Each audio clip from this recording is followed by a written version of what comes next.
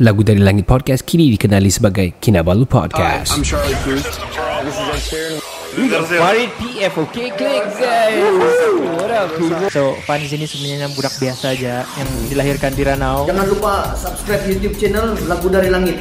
Ada Elvin MY. Tadi uh, orang sedang buat benda yang sangat bagus. Hey, si Aidil Bani di sini kau tidak apa? Okay. Saya Gilson Yanggun. Apps editor yang Patrick pakai tadi Yo, what up people? This is Kinabalu Podcast, podcast nomor satu di Sabah, hosted by Ricardo, Kenny, and Faizal. Apa dia tulis dalam papan itu?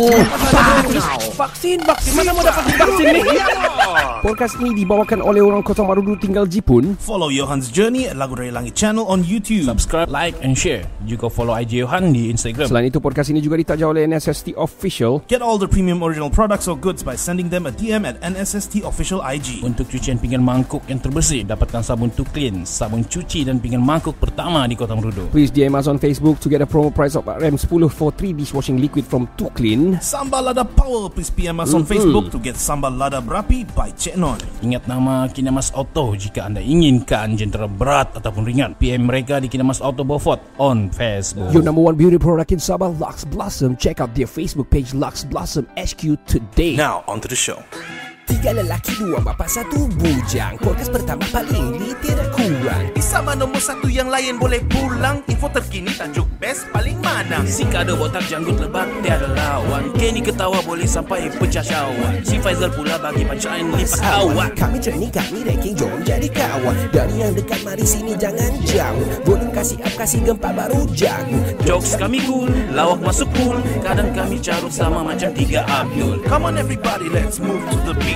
Crack the volume up dengan podcast tidak stupid. Jangan jauh, jangan jauh, mari kami bau Ciao, bella ciao, eh, ciao, bella ciao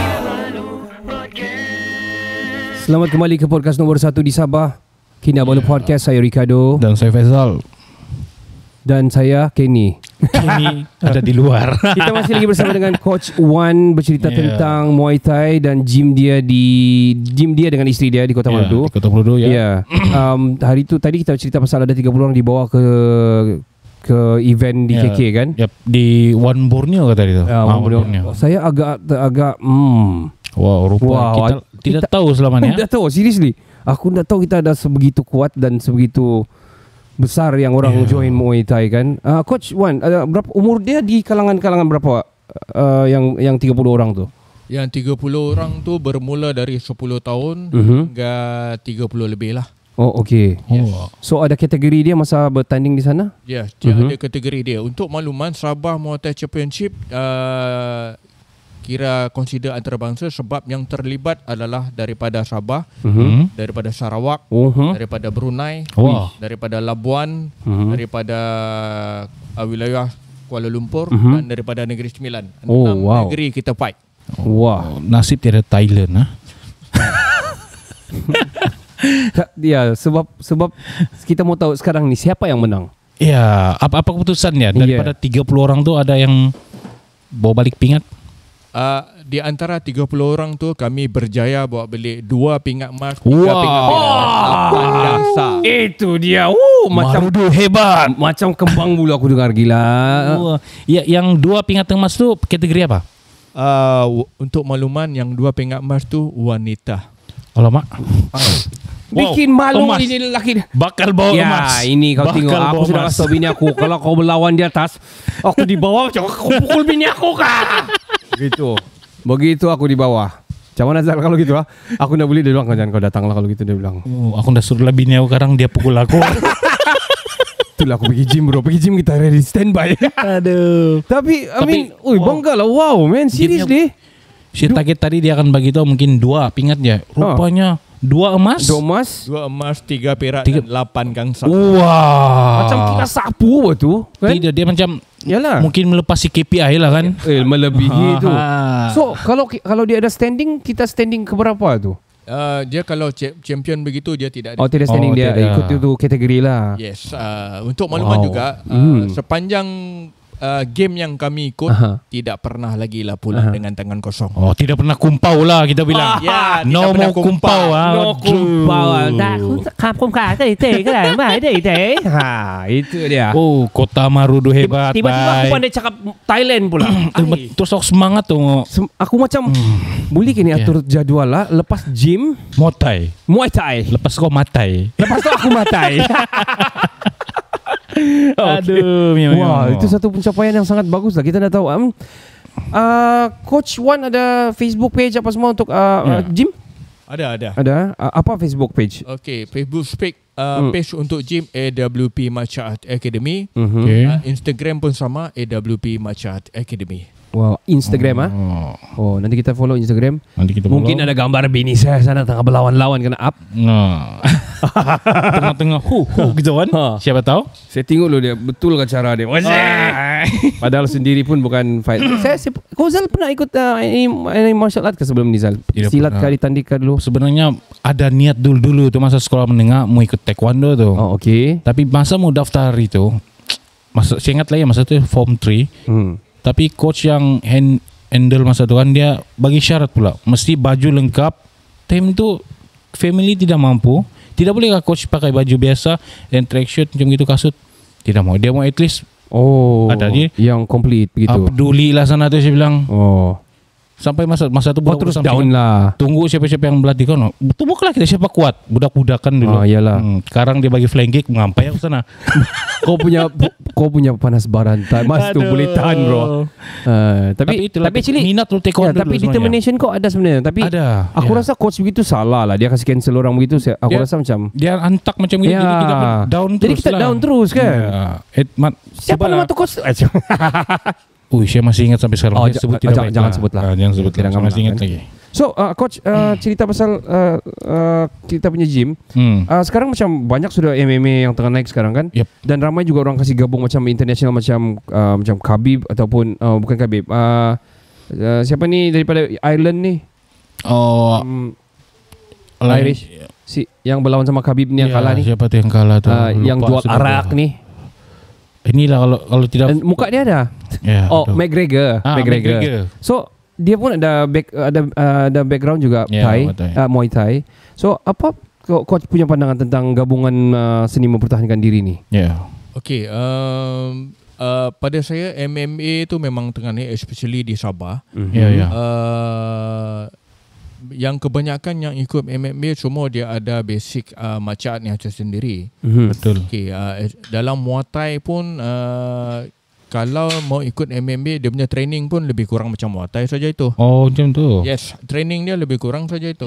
Oh, tapi dia ada banyak grapple kan, dia ada banyak macam peluk, macam Yes, lock semua kan. Muay Thai ada lock lock. Muay Thai dia tak ada lock, dia memang terus tu saja. Ada satu Lepas ada terus. satu fighter Muay Thai itu dari Thailand siapa yang dia legend sudah lah. Buat kau. Ah, buat kau tu. Yes. Uh, saya tengok dia macam Woi, kalau dia tendang tu kan macam dia tidak tidak tidak perasaan sakit tiada kaki ampun. dia tu kan. Ya, Dia legend lah kan, sangat Yes, legend dia lah. legend. Macam yang saya bilang tadi, Ah. kalau mau ten, kalau mau dapat tendangan begitu satu Hmm. hari sekurang-kurang satu ribu kick. Oh. mati kau satu Kanan ribu. sahaja. Hah, dua dua ribu. Yes. Satu ribu kiri, satu ribu kanan. Kalau macam itu saya cap gini je lah. Salam dari Binjai.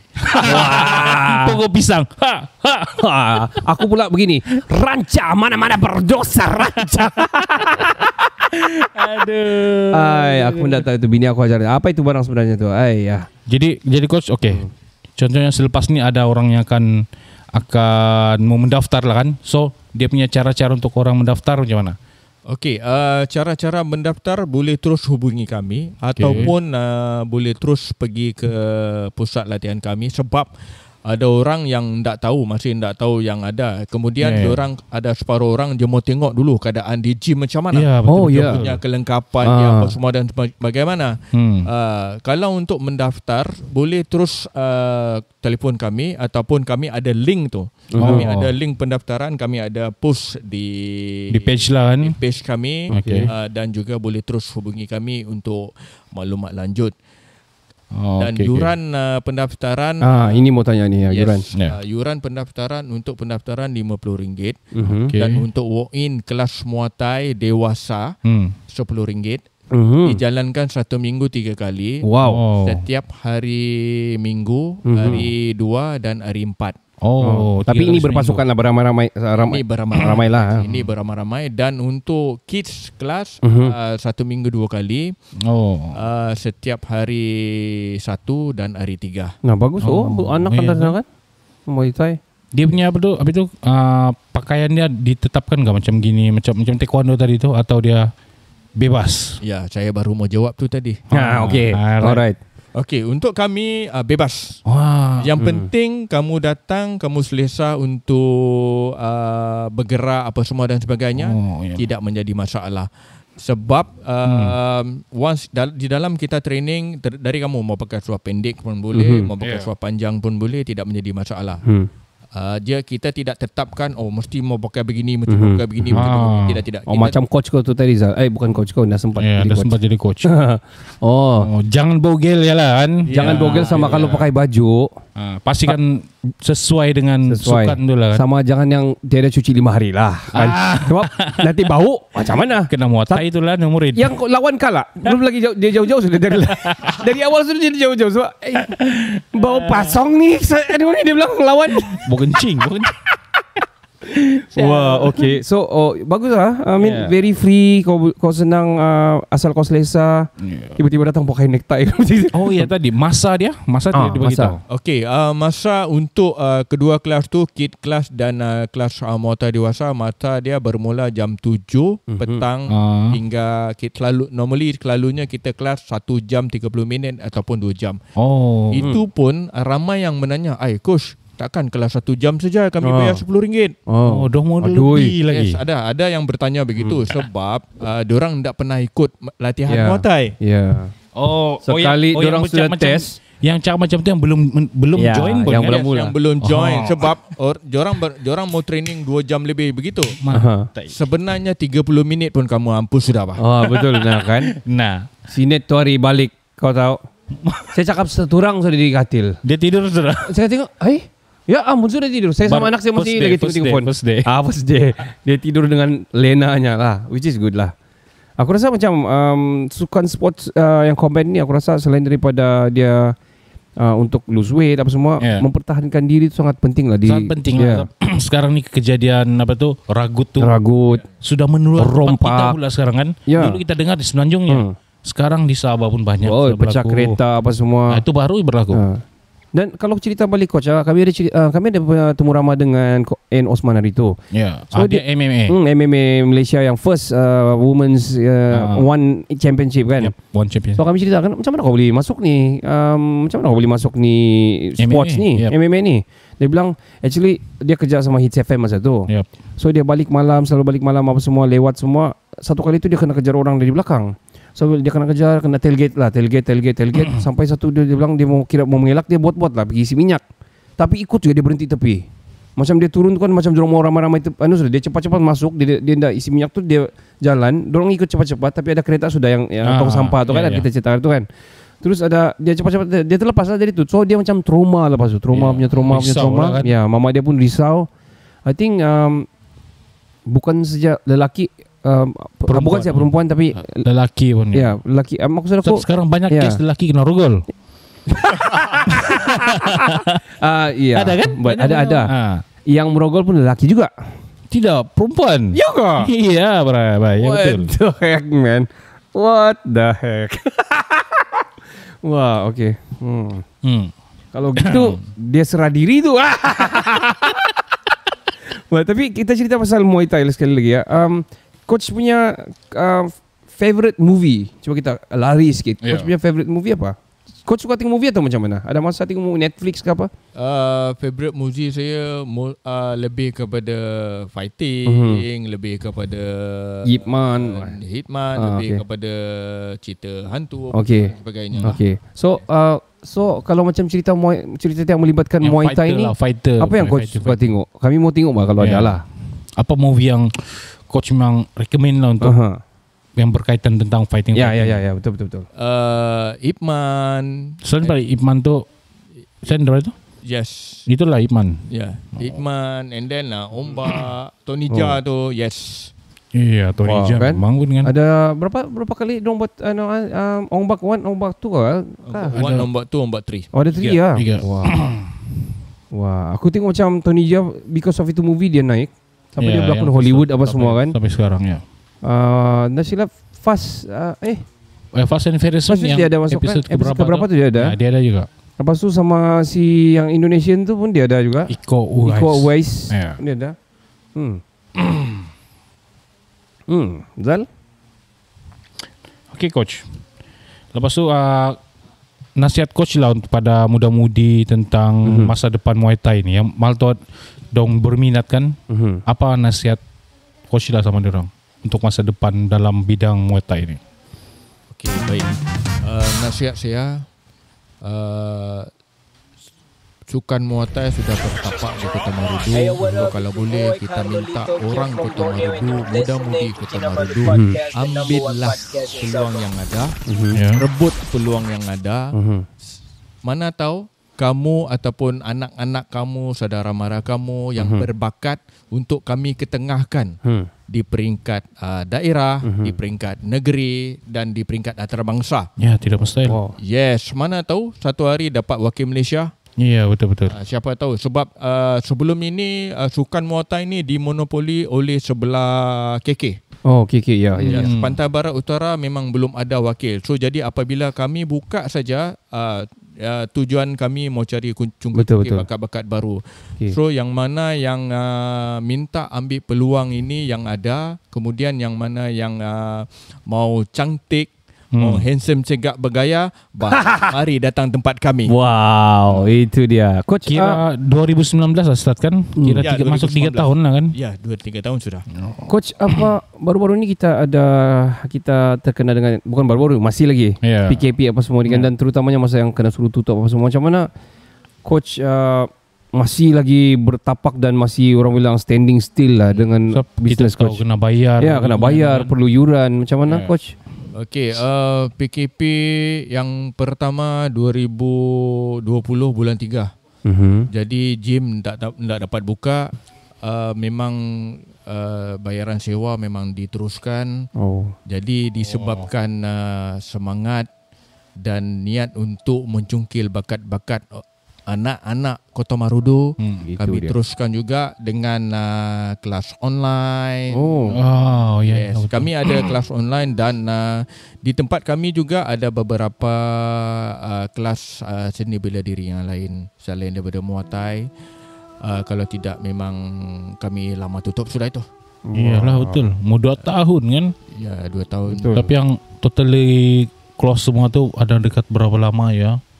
Sebab dia ada on off on off kan. Ya, ya, ya. Sekali buka lepas tu tutup balik. Ya. Tapi um, mungkin blessing in disguise sekarang ni sudah semuanya sudah orang bilang sudah berakhir. Kira endemik kita Ya. masuk pergi endemik punya era sudah. Ya, ya. Semua pun sudah vaksin dan uh, border pun sudah buka dan latihan face to face pun sudah boleh buat. So yang kita pun masih kekalkan SOP kita yang masuk yang join mesti sudah dua dos Ya. kan. Betul betul. Ya dan SOP kena jaga apa semua cuci tangan apa semua saya rasa okey lah. Ya betul. Dan uh, untuk makluman uh, dari 2019 kami masuk sekolah, kami berjumpa dengan PPD dan sebagainya. Mhm. Walaupun uh, PKP, usaha kami berbaloi sebab uh, terlantiknya pegawai teknikal sukan Muay uh, untuk daerah Kota Marudu. Wah, Yes, ada seorang guru telah dilantik daripada Hmm. Jabatan uh, Pendidikan Negeri Sabah mhm. uh, dilantik untuk menjadi te- uh, pegawai teknikal sukan Muay dan sukan Muay telah dimasukkan di dalam kurikulum sekolah. Wah. Ah. Bila ni akan dilangsungkan? Tahun depan?